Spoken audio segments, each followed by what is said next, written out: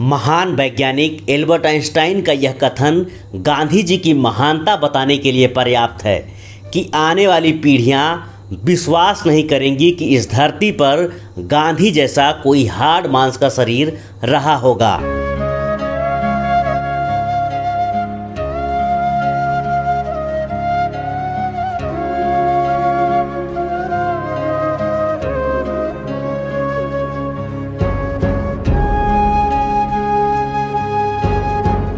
नमस्कार BSS online में आज कहानी भारत के राष्ट्रपिता महात्मा गांधी की। महात्मा गांधी का जन्म 2 अक्टूबर अठारह सौ उनहत्तर को पोरबंदर, गुजरात में हुआ था।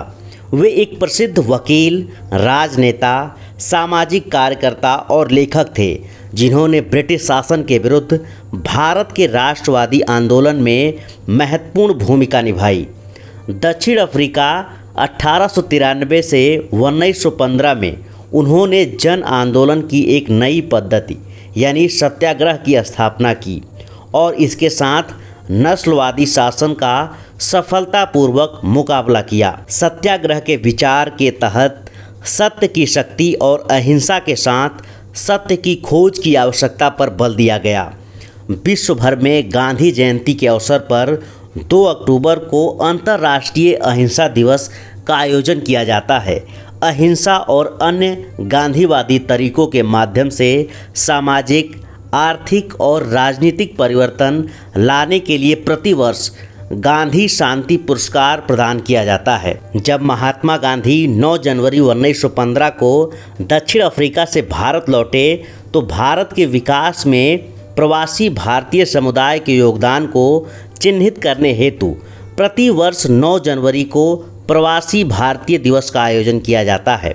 आइए बात करते हैं भारत में सत्याग्रह आंदोलन के बारे में।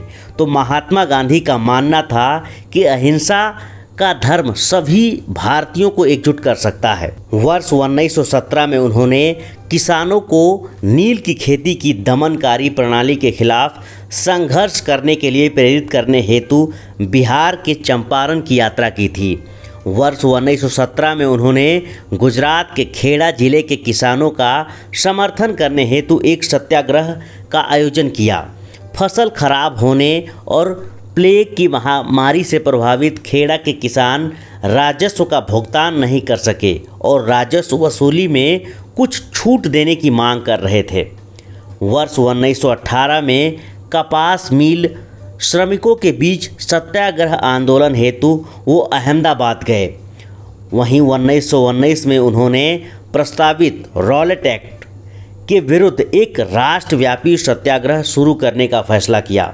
इस अधिनियम के तहत सरकार को राजनीतिक गतिविधियों को दबाने के लिए उच्च शक्तियाँ और दो वर्ष तक बिना किसी मुकदमे के राजनीतिक कैदियों को हिरासत में रखने की अनुमति दी गई थी। वहीं 13 अप्रैल उन्नीस सौ उन्नीस को कुख्यात जलियावाला बाग की घटना हुई। हिंसा को फैलते देख महात्मा गांधी ने आंदोलन 18 अप्रैल उन्नीस सौ उन्नीस को बंद कर दिया।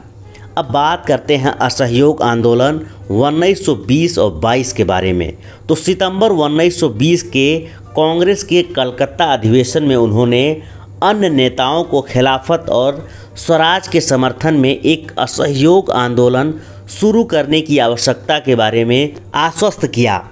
दिसंबर 1920 में नागपुर में कांग्रेस के अधिवेशन में असहयोग कार्यक्रम को अंगीकार किया गया। वहीं फरवरी 1922 में चौरी चौरा कांड के बाद महात्मा गांधी ने असहयोग आंदोलन को वापस लेने का फैसला किया। फिर बात करते हैं नमक कानून के बारे में। तो वर्ष 1930 में गांधी जी ने घोषणा की कि वे नमक कानून को तोड़ने के लिए एक मार्च का नेतृत्व करेंगे। उन्होंने साबरमती आश्रम से गुजरात के तटीय शहर दांडी तक मार्च किया, जहाँ उन्होंने समुद्र के किनारे पाए जाने वाले प्राकृतिक नमक को इकट्ठा करके और नमक पैदा करने के लिए समुद्र के पानी को उबालकर सरकारी कानून तोड़ा। यह घटना सविनय अवज्ञा आंदोलन की शुरुआत को चिन्हित करती है। आइए बात करते हैं सविनय अवज्ञा आंदोलन के बारे में।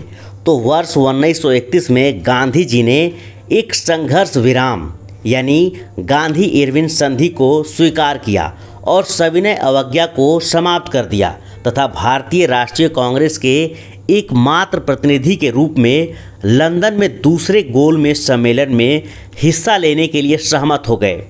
लंदन से लौटने के बाद महात्मा गांधी ने सविनय अवज्ञा आंदोलन को फिर से शुरू कर दिया। एक वर्ष से अधिक समय तक यह आंदोलन जारी रहा, किंतु वर्ष 1934 तक इसने अपनी शक्ति खो दी। वहीं बात करें, भारत छोड़ो आंदोलन के बारे में तो द्वितीय विश्व युद्ध उन्नीस सौ के प्रकोप के साथ भारत में राष्ट्रवादी संघर्ष अपने अंतिम महत्वपूर्ण चरण में प्रवेश कर गया।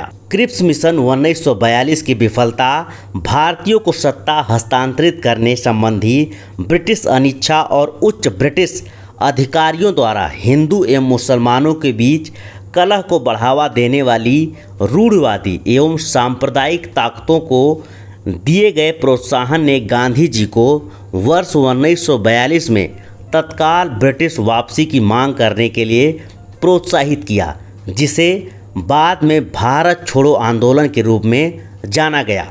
वहीं बात करें गांधी जी के सामाजिक कार्य के बारे में तो उन्होंने तथाकथित अछूतों के उत्थान के लिए महत्वपूर्ण कार्य किया और अछूतों को एक नया नाम दिया, हरिजन, जिसका अर्थ है ईश्वर की संतान।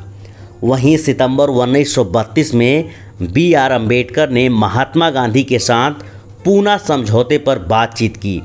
आत्मनिर्भरता का उनका प्रतीक चरखा भारतीय स्वतंत्रता आंदोलन का एक लोकप्रिय चिन्ह बन गया था। उन्होंने लोगों को शांत करने और हिंदू मुस्लिम दंगों को रोकने में महत्वपूर्ण भूमिका निभाई, क्योंकि देश के विभाजन से पहले तथा उसके दौरान दोनों समुदाय के बीच तनाव काफ़ी बढ़ गया था।